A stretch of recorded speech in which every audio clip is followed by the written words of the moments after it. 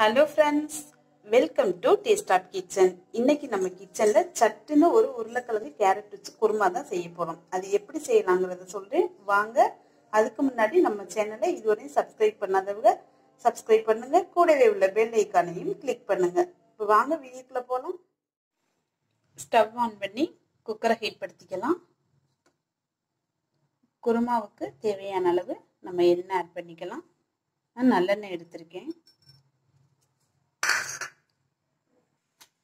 எண்ணெய் நல்லா ஹீட் ஆயிடுச்சு ரெண்டு மூணு சோம்பு ஒரு பிரிஞ்சி இலை ஒரு பட்டை.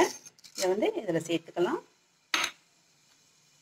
இப்போ இதெல்லாம் நல்லா பொறிஞ்சோனையும் நம்ம ரெண்டு பெரிய வெங்காயம் இந்த மாதிரி லேஸ் லேஸாக நறுக்கி வச்சுட்டு அதை இதில் சேர்த்துக்கலாம். இப்போ வெங்காயம் நல்லா வதங்கினோனையும் நம்ம வந்து தக்காளி அதில் சேர்த்துக்கலாம்.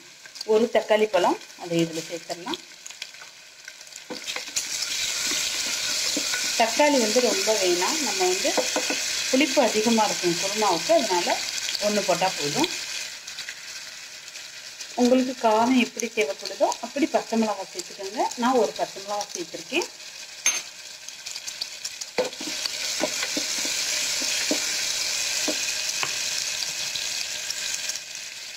இப்போ இதில் ஒரு ஸ்பூன் இஞ்சி பூண்டு பேஸ்ட்டு சேர்த்துக்கலாம். ஒரு டீஸ்பூன் மஞ்சள்தூள் சேர்த்துக்கலாம் இப்போ ஒரு ஒரு டேபிள் ஸ்பூன் மிளகாய்த்தூள் சேர்த்துக்கலாம். இதோட ஜீரகத்தூள் ஜீரகம் சோம்பு மிளகு எல்லாமே சேர்த்து அரைச்சி வச்சுருக்கோம் இல்லையா? இதை ரெண்டு ஸ்பூன் அதில் சேர்த்துக்கலாம். அதையும் போட்டு நல்லா இதோட பச்சை வாடை போகிற வரையும் இந்த மசாலோடைய வாடை வதக்கிக்கலாம். இப்போ ரெண்டு உருளைக்கிழங்க குட்டி குட்டியாக நறுக்கி வச்சுருக்கேன். இந்த உருளைக்கிழங்கு இதில் சேர்த்துடலாம். ஒரு கேரட் எடுத்து இந்த மாதிரி குட்டி குட்டியாக நறுக்கி வச்சுருக்கேன். இந்த கேரட்டையும் இதில் சேர்த்துக்கலாம். இப்போ இதெல்லாம் நல்லா எண்ணெயில் மசாலாவோட நல்லா போட்டாயிருச்சு இப்போ மல்லித்தலை கொஞ்சமாக சேர்த்துக்கலாம். இதுக்கு மெயினானது ஒரு கால் கப்பு தயிர். தயிர் அதில் சேர்த்துடலாம்.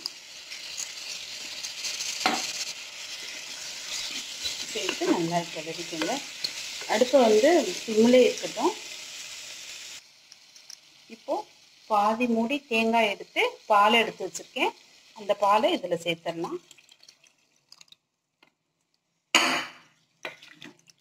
சேர்த்து நல்லா கிளறி விட்டுக்கோங்க.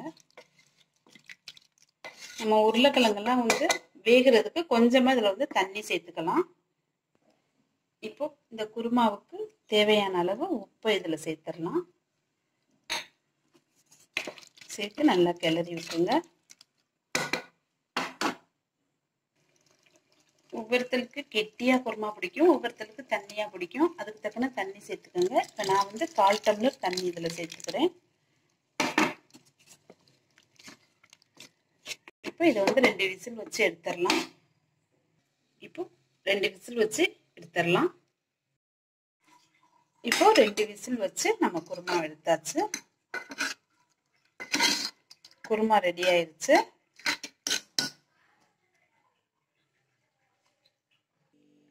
அவ்வளோதான் ஃப்ரெண்ட்ஸ் நம்மளுடைய உருளைக்கிழங்கு குருமா ரெடி ஆயிடுச்சு சப்பாத்தி தோசை இட்லி எல்லாத்துக்கும் சாப்பிடலாம்.